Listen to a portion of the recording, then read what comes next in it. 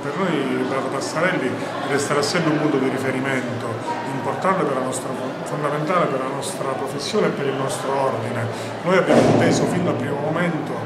eh, ricordarlo e istituzionalizzare questo appuntamento, siamo già alla terza edizione e, e assieme anche a, un, a questo convegno sulla materia per la quale lui purtroppo ha perso la vita e che tanto lo appassionava, abbiamo deciso di affiancare anche la premiazione dei migliori studenti, eh, concedendo loro una borsa di studio, eh, che può servire da stimolo, anche un piccolo stimolo anche economico in un momento di, grande difficoltà, quindi per un ragazzo eh, può, può servire tanto. E quindi noi, ripeto, abbiamo, abbiamo voluto continueremo fin quando sarò io Presidente, ma anche chi mi seguirà nei prossimi anni sicuramente a portare avanti